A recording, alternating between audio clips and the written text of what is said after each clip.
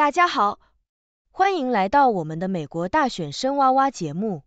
今天我们将深入探讨一个对于即将到来的选举至关重要的话题——年轻女性的投票趋势和卡马拉·哈里斯的表现。年轻女性在政治舞台上的活跃程度逐渐上升，她们的选择可能会对整个选举结果产生重大影响。尤其是在激烈的宾夕法尼亚州，哈里斯必须吸引这一群体的支持，才能在面对特朗普的挑战时保持优势。我们将看到，这些年轻女性对于堕胎权的讨论充满热情，并且她们渴望在选举中发声。哈里斯的表现不仅关乎她个人的政治生涯，更是关键州年轻选民投票的决定性因素。随着奥巴马的力挺，哈里斯也在努力赢得更多的支持者，但仍有不少人对他的候选人资格表示怀疑。此外，查尔斯国王在澳洲的访问也反映了当前社会对于历史不公的强烈关注，原住民抗议者的声音不容忽视。这一系列事件都在告诉我们，民众的情绪和期望将如何影响未来的政治局势。请大家继续收看详细内容。在匹兹堡大学的校园里，灯笼虫在阳光下飞舞，音乐飘扬，折叠桌上点缀着水果、零食和“拯救民主是时尚的”粉红贴纸。这是由 Next Gen America 举办的选民登记活动。这个进步组织致力于提高关键州年轻女性的投票率。在活动现场，十八岁的梅雷迪斯·温瑟 （Meredith Winthor） 从北卡罗来纳州来到匹兹堡。刚开始他的大学生活，他在活动中登记，并计划支持民主党的卡马拉·哈里斯。温瑟对于哈里斯在与唐纳德·特朗普的辩论中展示的坚定表现感到激动。他认为看到一位女性如此勇敢的与男性对抗令人振奋。年轻女性在这次选举中成为一股不容忽视的政治力量，特别是在哈里斯努力成为美国首位女性总统时，堕胎议题更是激发了他们的参与热情。温瑟强调，男性不应该对女性的身体拥有发言权，这是许多年轻女性的共识。在宾夕法尼亚州的阿勒格尼县，年轻女性的投票率对民主党至关重要。这是个在过去五次选举中都支持民主党的地区。根据统计，十八至二十四岁的选民有超过八万八千六百七十人登记。二十五至三十四岁的选民则有超过十八万三千两百三十二人，这些年轻选民几乎占了该县九十四万三千两百二十一名登记选民的百分之三十。对于共和党的特朗普来说，这个选区的投票结果可能会决定选举的走向。他在竞选中不断强调自己男性气概，试图吸引感到困惑的年轻男性。他近来常在演讲中宣称女性需要保护，并将自己视为他们的保护者。这种说辞对女性选民造成了冲击，而哈里斯则直接反驳了这种观点，强调共和党人对女性根本不信任，并坚信女性应有自主权。超级多数组织的高级主任杰西卡。赫雷拉表示，堕胎象征着自主权。他认为哈里斯能够扩大选民基础，尤其是那些不常投票的年轻女性。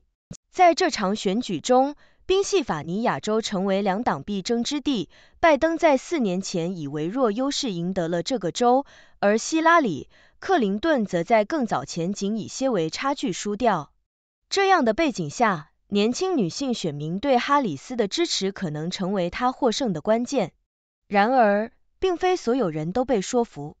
十八岁的匹兹堡新生特巴拉特夫 t i b l a t e f 表示，他对特朗普和哈里斯都抱持怀疑，认为两者在重要议题上的表达都不够深入。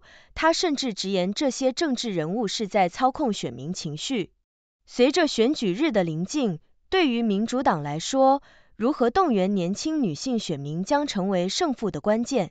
同时，正当美国的政治气候因选举而紧张，另一边的大洋彼岸，查尔斯国王在澳洲的访问也掀起了不小的波澜。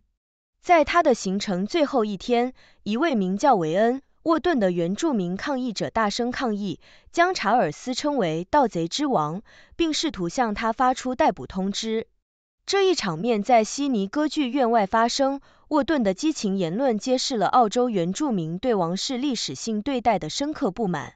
沃顿在被捕后激愤地表示，查尔斯的访问对于努力在澳洲生活的原住民来说是一种羞辱。他完全支持另一名抗议者利迪亚·索普的行动。索普直言查尔斯不是他的国王，并指控他种族灭绝。尽管面对抗议，查尔斯国王和卡米拉王后继续他们的行程，参观了澳洲癌症中心，并在那里谈论自己的癌症诊断，以提高对癌症的认识。这次访问还包括与年轻作家会面，以及在政府大楼种植纪念树，显示出他们对于澳洲社会问题的关注。在澳洲访问结束后，查尔斯国王和卡米拉王后将前往萨摩亚，进一步了解气候变化对太平洋岛国的影响。这也是他王室生涯中对环保问题的持续关注。与此同时，在美国，前总统奥巴马在密歇根州为哈里斯竞选发声。他回忆起2020年选举后特朗普引发的混乱，并呼吁密歇根州的选民支持哈里斯。奥巴马在底特律的演讲中强调，这次选举中最令人不安的是，许多人开始放弃曾经坚持的价值观，并对特朗普试图操控选举结果的行为提出严厉批评。奥巴马的演讲不仅是一场政治集会，更是对于美国价值观的呼唤。他告诉密歇根州的选民，真正的力量不是特朗普所宣称的那样，而是来自于每天努力工作的人们。奥巴马为哈里斯打气，提醒选民他的经历和价值观，并呼吁选民用选票来捍卫他们所相信的自由和权利。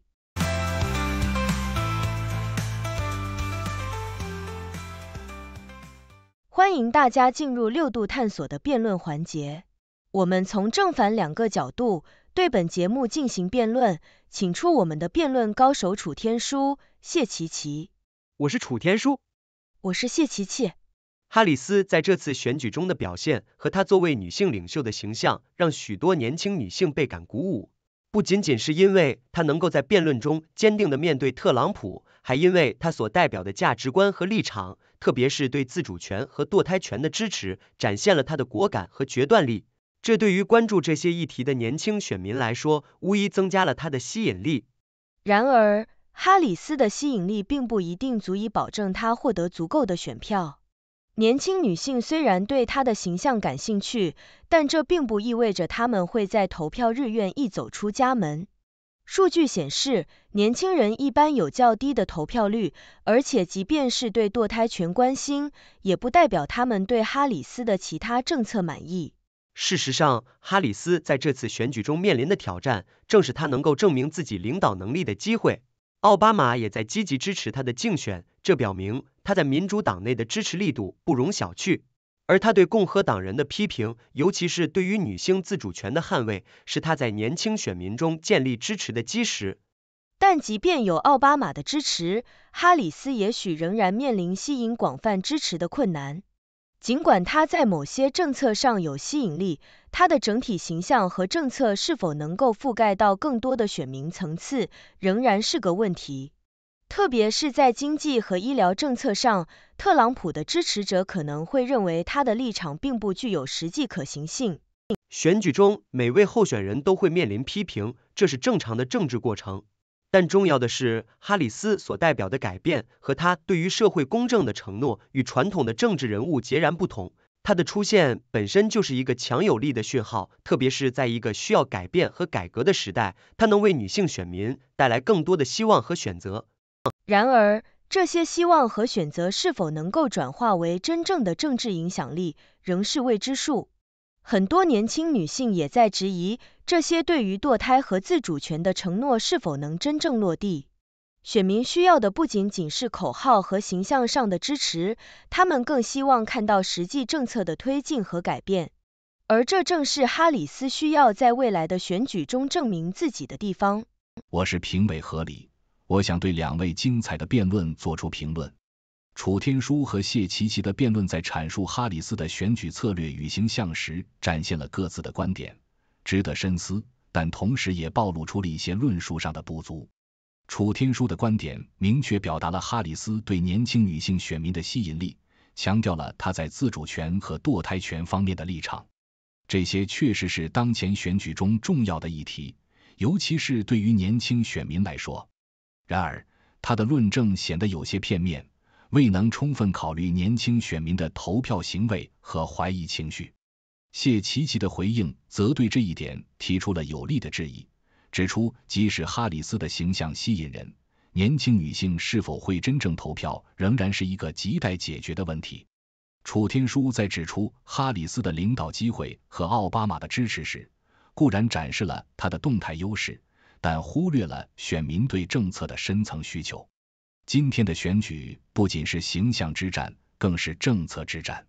谢奇奇的论点正是强调了这一点，质疑哈里斯的整体政策是否能够吸引更广泛的选民群体，尤其是在经济和医疗等关键问题上。这是一个十分重要的考量，因为选民的支持往往取决于候选人能否解决他们最关心的问题。在辩论的最后，楚天舒重申了哈里斯的社会公正承诺，这无疑是一个强而有力的诉求。然而，谢奇奇的观点则指出，单靠口号无法转化为实际的政治影响力。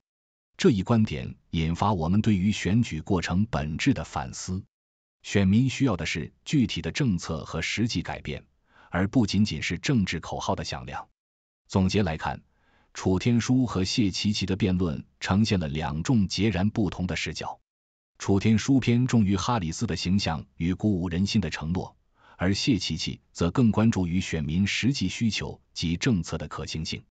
未来的选举中，候选人必须在这两者之间取得平衡，才能赢得选民的信任和支持。希望两位辩手在未来的讨论中能进一步深化对于选举与选民心理的理解。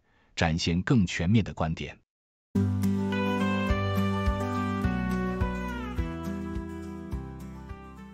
六度解析，今日华尔街特别节目，全世界顶尖的媒体，全世界顶尖的智库，对时局的及时报道与分析，独一无二。六度解析，随时奉献。谢谢大家收看六度探索。这是一个由科学家、经济学家、媒体人、工程技术人员合作建立的新型媒体。网友与六度 AI 参与合作完成各种内容，这些内容不能作为任何决策或法律的意见。这是一个新型的试验性媒体方式，我们希望得到大家的支持，修正错误。网友可以参与讨论，也可以向万能的六博士提出你能想出的任何问题。六度世界网址是六度 World。请介绍给你的亲朋好友。